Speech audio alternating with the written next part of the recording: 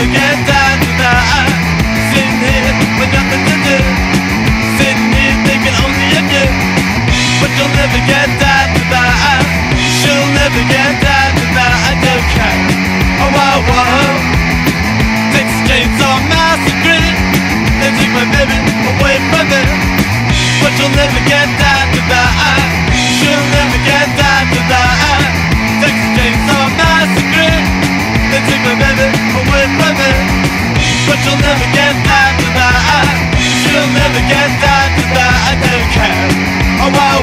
5 puntos que debes considerar antes de adquirir tu motosierra dependiendo del tipo de trabajo y para qué la vayas a utilizar.